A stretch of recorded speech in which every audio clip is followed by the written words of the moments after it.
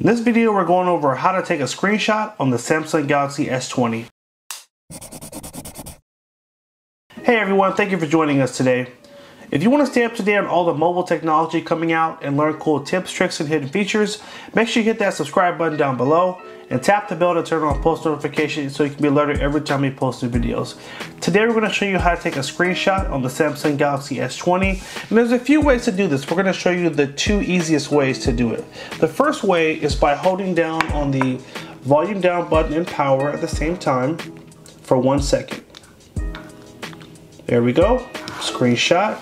You have your screenshot menu down here. You can tap and then you can adjust it afterwards. So I can crop it. Maybe I only want the top here or I want to keep the full screen, but I want to write something on it. I can tap here and I can circle or make notes, do whatever. From there, I can save it or I can share it.